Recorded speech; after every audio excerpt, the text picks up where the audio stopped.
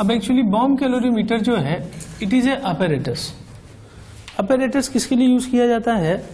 It is used it is used to measure to measure enthalpy of combustion enthalpy of combustion अब आगे से, आगे बढ़ने से पहले अपन ये सोचें कि किस चीज़ को एक्सपेरिमेंटली डिटरमाइन करना आसान है फॉर्मेशन या कम्बेशन मैं एक एग्ज़ाम्पल समझाता हूँ। जैसे अगर मान लो मुझे सी एच फोर का फॉर्मेशन देखना हो तो मुझे रिएक्शन क्या करानी पड़ेगी? कार्बन प्लस हाइड्रोजन ठीक है ना? और कंबशन देखना हो तो C H four plus O two से सीओ टू और वाटर ठीक? अब अगर मान लो मैं कोई ऐसा अपरेटस तैयार करूँ जिसमें कार्बन को हाइड्रोजन के साथ मिक्स कर दूँ, क्या एक ही कंपाउंड बन सकता है सी एच फोर इम्पॉसिबल ठीक है? कार्बन और हाइड्रोजन के कॉम्बिनेशन से कई तरह के हाइड्रोकार्बन बन सकते हैं ना? तो किसी भी कंपाउंड का, जैसे बेंजोइक एसिड है। अब मैंने अभी एग्जांपल लिया था तो बेंजोइक एसिड बनाने के लिए ग्रेफाइट हाइड्रोजन और ऑक्सीजन मिलाकर रखें तो क्या बेंजोइक एसिड बन जाएगा? नहीं बनेगा। वो थियोरटिकली एक्सप्रेशन लिखने के लिए है। पर ऐसा नहीं है कि ऐसी कोई रिएक्शन हम करवा रहे हैं प्रैक्टिकली और इससे हम बेंजोइक एसिड बनाने में कैपेबल है। ये होना एकदम एक तरह से इम्पॉसिबल बात है। क्योंकि कार्बन हाइड्रोजन ऑक्सीजन से कोई यही कंपाउंड बनता है क्या? इथाइल एल्कोहल भी में भी तो यही कंपोजिशन है। हज़ारों कंपाउंड है ऐसे ठीक? तो फॉर्मेशन कराना डिफ़िकल्ट है कंपाउंड का हाइड्रोकार्बन का या किसी और कंपाउंड का, बजाय की कंबशन के। तो करते क्या है? कि कंबशन निकाल लेते हैं हर कंपाउंड का। जैसे मैंने एक न्यूमेरिकल करवाया अभी। Calculate formation of benzoic acid और बाकी मैंने तीन डेटा दे दिए कंबशन के। उनकी हेल्प से मैं फॉर्मेशन निकाल सकता हूँ ना? बोलो। मैं इस चीज़ को और थोड़ा सा ऐसे बताता हूँ। मान लो मैंने सी एच फोर का कंबशन करवा दिया। CO two plus H two ठीक है? तो इस रिएक्शन में एनर्जी मान लीजिए डेल्टा एच एक्स है। तो मैं इस एक्स को कैसे लिखूँगा? Delta formation of CO two plus delta formation balance नहीं किया मैंने। ठीक है two H two O two delta formation of H H two O minus delta formation of C H four plus zero ले लिया मैंने स्टैंडर्ड स्टेट में इसके लिए। अब अगर मान लो टू ओ टू जो तो वो तो ज़ीरो कर दिया मैंने, है ना? ओ टू तो लिखा ही नहीं ना मैंने। तो इन दोनों का फॉर्मेशन माइनस इनका फॉर्मेशन जिसमें ये ज़ीरो है। अगर मान लो एक्सपेरिमेंटली हमने ये निकालना है तो हाइड्रोजन का कंबशन करवा के ये निकाल लूँगा और कार्बन का कंबशन करवा के ये निकाल लूँगा। तो एक्सपेरिमेंटली कंबशन के डेटा बड़ी आसानी से निकाले जा सकते हैं। या फिर दूसरे तरीके से लिखूं इसे मैं। ये तो फॉर्मेशन लिख दिया मैंने। मैं कंबशन की टर्म में लिख दूँ। कैसे लिखूँगा कंबशन की टर्म में? डेल्टा यहाँ से इसकी टर्म में अगर रिएक्शन ये है, जिसे फॉर्मेशन करना है मुझे कार्बन प्लस हाइड्रोजन से सी एच फोर ये मालूम करना है तो डेल्टा एच बराबर, delta combustion of carbon plus two delta combustion of hydrogen minus delta combustion of C H अब प्रैक्टिकली ये तीनों मालूम कर कर मैं क्या निकाल सकता हूँ फॉर्मेशन तो कंक्लूजन में क्या बोल रहा हूँ? कि अगर हम एक्सपेरिमेंटली बात कर रहे हैं तो कौन सा प्रोसेस ज़्यादा आसान है? कंबशन से एनर्जी मालूम करना फॉर्मेशन की तुलना में। जब हम सभी का कंबशन निकाल लेते हैं तो उसकी सहायता से मैं फॉर्मेशन भी निकाल सकता हूँ न्यूमेरिकली जैसा मैंने अभी क्वेश्चन करवाया था। तो हमारा ये जो ऑपरेटर है bomb calorimeter it is use to measure enthalpy of combustion अब इसमें क्या करते हैं? एक इस तरीके से क्लोज हमने कंटेनर लिया। इस क्लोज कंटेनर को हमने चारों तरफ़ से प्लास्टिक वाले कवर कर कर, एक प्लास्टिक का एक बॉक्स है एक तरह से, ठीक है ना? इसमें हमने पानी भरा हुआ है। ठीक? ये चीज़ क्या है? This is called as insulation insulation कैसे करते हैं? प्लास्टिक भर के। प्लास्टिक की एक मोटी परत है। तो इसको हमने बोल दिया कि दिस इज़ इंसुलेशन और इस बर्तन में, जैसे टब है, इसमें पानी भरा हुआ है। अब हम क्या करते हैं, इसके अंदर, कि इसके अंदर हम जो है, एक स्टील का बॉक्स रखते हैं। ठीक है? एक हम इसके अंदर रख देते हैं स्टील का बॉक्स, इस तरीके से। A box made of steel. Steel box. किसी और मेटल का भी ले सकते हैं। इस स्टील बॉक्स में एक छोटे से पॉकेट में हम यहाँ रख देते हैं फ्यूल और इस पूरे स्टील बॉक्स में हम ऑक्सीजन भर देते हैं हाई प्रेशर पे. तो ये बाहर किया हमने. हमने बाहर क्या किया कि एक स्टील का बॉक्स था, उसमें हमने क्या किया? फ्यूल रखा थोड़ा सा और उसमें हमने किसी ऑक्सीजन सिलेंडर की हेल्प से तेज प्रेशर पे ऑक्सीजन गैस भर के रख दी, जैसे बैलून में भर के रख देता अब ऑक्सीजन क्यों भरी मैंने? ताकि ये फ्यूल जल जाए। जलाने के लिए मुझे क्या चाहिए? यहाँ पे इग्निशन वायर चाहिए। तो यहाँ से वायर बाहर कनेक्ट कर देते हैं। एक डिब्बा यहाँ बना देते हैं और उसे वायर बाहर निकाल देते हैं। इस वायर को कनेक्ट कर देते हैं बैटरी से। जैसे इग्निशन ऑन करेंगे, यहाँ पे क्या होगा? करंट जनरेट होगा स्पार्क प्लग के बीच में। और इसको फ्यूल को बांधते कहाँ है? एग्जैक्टली ऐसे रखते नहीं है इसको। यहाँ पे कनेक्ट करके ये फ्यूल रख देते हैं। ठीक है ना? दिस इज़ फ्यूल जिसको जलाना है। दोनों वायर के बीच में फ्यूल रखा हुआ है। जैसे करंट पास करेंगे स्पार्क जनरेट होगा। स्पार्क जनरेट होगा तो कंबशन होगा। ऑक्सीजन पड़ी हुई है पहले से हाई प्रेशर पे एनफ क्वांटिटी में। तो ये पूरा जलकर सीओ में कन्वर्ट हो जाएगा। सीओ टू और वाटर हाइड्रोकार्बन के लिए केस बात कर रहा हूँ? तो बात समझे? इस फ्यूल को जला रहे हैं ऑक्सीजन की सहायता से बाहर स्पार्क प्लग अब क्या होगा, जब भी कंबशन होता है एनर्जी रिलीज़ होती है because combustion is exothermic process जो एनर्जी रिलीज़ होगी, वो इस पूरे का टेम्परेचर बढ़ाएगी। यहाँ पे हमने रख दिया थर्मामीटर अब थर्मामीटर जो है, इसका टेम्परेचर शुरू में T1 होगा, बाद में T2 हो जाएगा टेम्परेचर बढ़ के। तो मैं ये कह रहा हूँ कि बिफोर कंबशन बिफोर कंबशन जो है, हमारे पास टेम्परेचर था T1 कैलविन और आफ्टर कंबशन मेरे पास टेम्परेचर हो गया T2 कैलविन तो हीट रिलीज्ड कैसे निकालूँगा? Heat released Q is equal to C delta T मैं इसे क्या लिख सकता हूँ? सी टी टू माइनस जो C मैं यहाँ लिख रहा हूँ it is total heat capacity total heat capacity ठीक? जो हीट रिलीज़ हुई, वो दो चीज़ों ने ली। एक तो वाटर ने और एक इस स्टील के बॉक्स ने। तो मैं चाहूँ तो इस एनर्जी को दो पार्ट में तोड़ रहा हूँ। Q is equal to N C bomb delta T plus N water C water delta T N bomb N bomb का क्या मतलब है? मोल। मोल कैसे निकालेंगे हम? जो बॉक्स है इस बॉक्स का वेट मुझे पता है स्टील का बना हुआ है तो मोलर मास से डिवाइड करके अपन मोल निकाल सकते हैं। या फिर, मैं इसको ऐसे लिख सकता हूँ ना mass bomb specific heat of bomb into delta T plus mass water specific heat of water delta T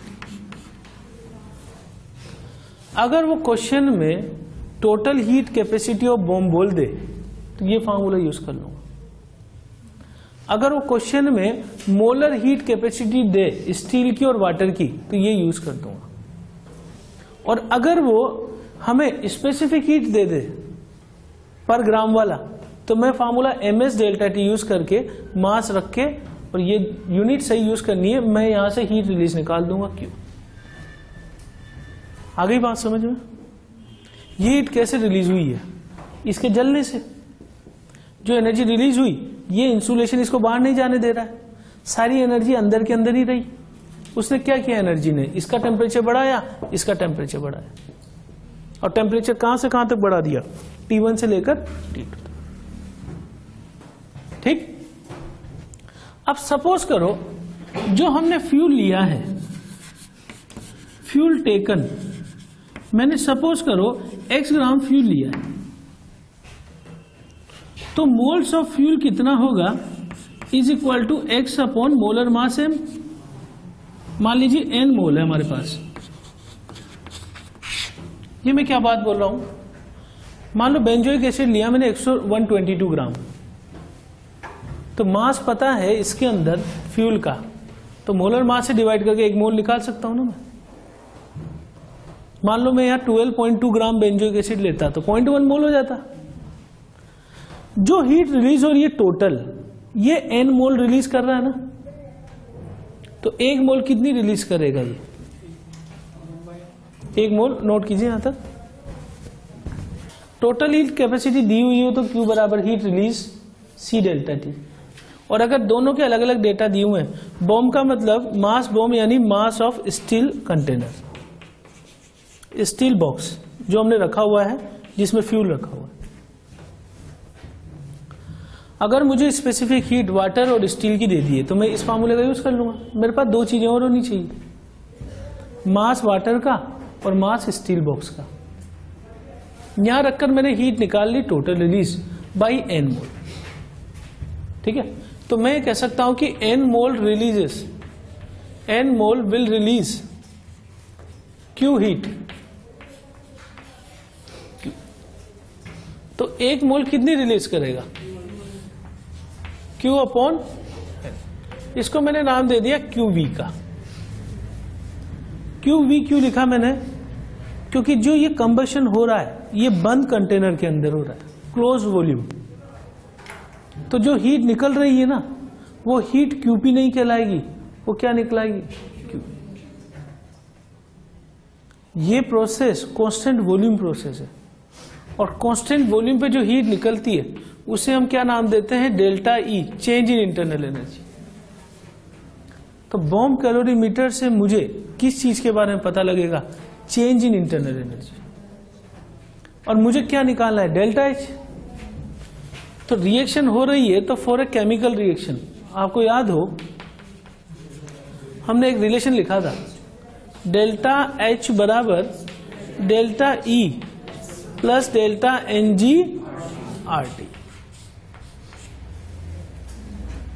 समझिए बात? हो निकालना क्या है?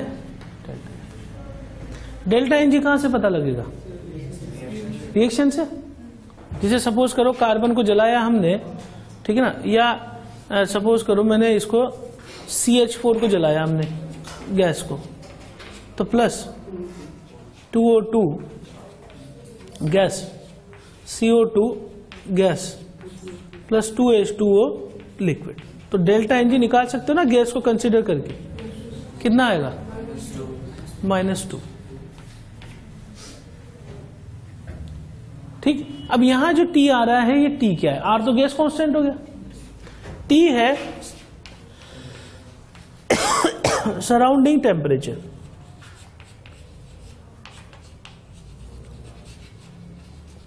सराउंडिंग टेम्परेचर क्या मतलब है? जहाँ पे बॉम्ब रखा हुआ है, उसके आसपास का टेम्परेचर समझिए बात? अब यहाँ से एक बार समझ लो। टोटल हीट रिलीज़ निकाल ली मैंने कैलकुलेशन से। और मोल निकाल लिए फ्यूल कितने लिया है? वेट ग्राम डब्ल्यू ग्राम या X gram upon molar mass weight upon molar mass से मोल आगे एन एन मोल रिलीज़ कर रहा है क्यू हीट तो एक मोल रिलीज़ करेगा क्यू बाई एन इसको मैंने साइन दिया क्यू वी क्योंकि प्रोसेस कॉन्स्टेंट वॉल्यूम है। यहाँ जो कंबशन हो रहा है नोट कि combustion is taking place at constant volume combustion is taking place at constant volume तो कांस्टेंट वॉल्यूम पे कंबशन हो रहा है तो इस सीधी, इस हीट को मैं क्या नाम दे दूँ? डेल्टा मुझे निकालना क्या है? डेल्टा तो डेल्टा एच बराबर delta E plus delta N G R T delta N G हम रिएक्शन लिख के करेंगे। आर कांस्टेंट और टी टेम्परेचर सराउंडिंग सबसे पहले हमें क्या दिया हुआ है? 12.2 gram solid benzoic acid is combusted in bomb calorimeter at 25 degree centigrade temperature rose from 25 degree centigrade to 75 degree centigrade if heat capacity of calorimeter अब एक ही डेटा दिया हुआ है। अगर यहाँ मोल होता साथ में तो मोलर हीट कैपेसिटी होती। अगर यहाँ ग्राम होता तो स्पेसिफिक हीट कैपेसिटी होती। यहाँ पे सिर्फ़ जूल और डिग्री सेंटीग्रेड है तो ये सिर्फ़ टोटल हीट कैपेसिटी है। और डेटा भी मुझे एक ही दिया हुआ है तो एक ही दिया हुआ है कंप्लीट सी पहले तो मैं ये देखूँ, ठीक है? अब सबसे पहले हम ये देखें कि डेल्टा टी कितना है। टी वन तो है हमारे पास 25 डिग्री सेंटीग्रेड और टी टू कितना है 70 मुझे निकालना है डेल्टा टी क्या इसको कैलोरी में चेंज करें? ज़रूरत नहीं है। ठीक ना? इसका चेंज केल्विन में डिग्री सेंटीग्रेड में क्या होगा? तो कितना चेंज है? 50 डिग्री सेंटीग्रेड या 50 कैलोरी एक ही बात बोल डेल्टा टी मेरे पास है और टोटल हीट कैपेसिटी मुझे दे दिया 50 जूल पर डिग्री सेंटीग्रेड अगर मैं दोनों को मल्टीप्लाई कर दूँ तो total heat release C delta T बराबर 2500 जूल सही है? टोटल हीट रिलीज़ हुई इतनी। अब हमने फ्यूल कितना लिया है? फ्यूल लिया है हमने 120 12.2 ग्राम फ्यूल बेंजोइक एसिड तो इसके मोल कितने होंगे बताइए?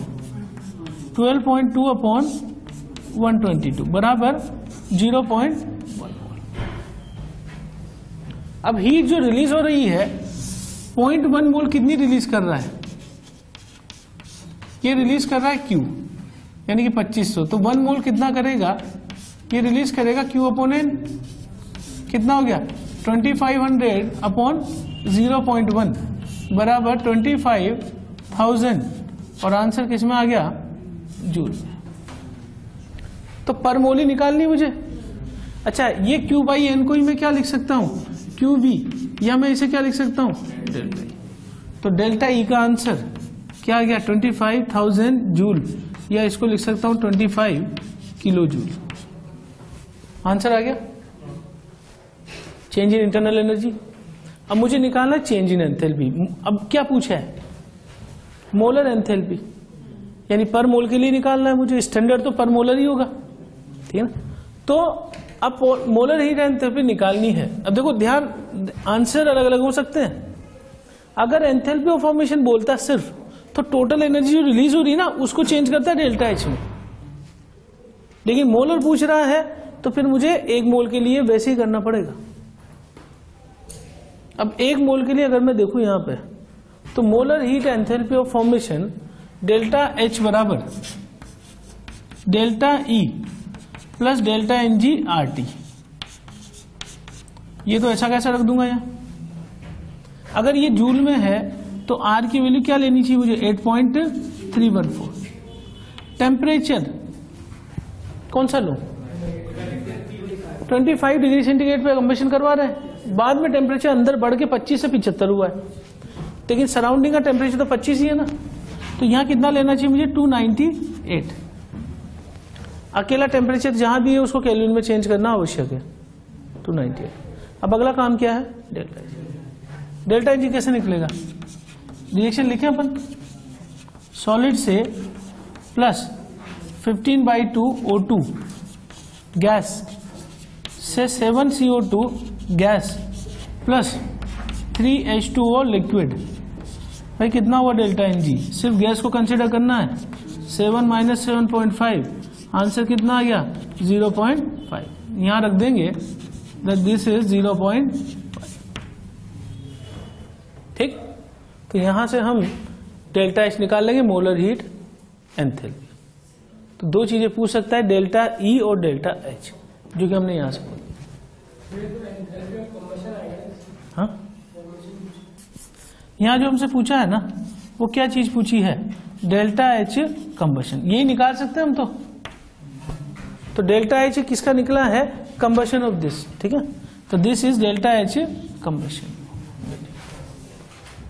formation नहीं है, ये कौन सा है? कम्बेशन क्योंकि जला रहे हैं तो वो एनर्जी कौन सी होगी? इसे कम्बेशन हो रहा है। तो यहाँ पे क्या करना है अपन को? ये फॉर्मेशन नहीं है, ये कौन सा है? कम्बेशन ठीक है नोट कीजिए सर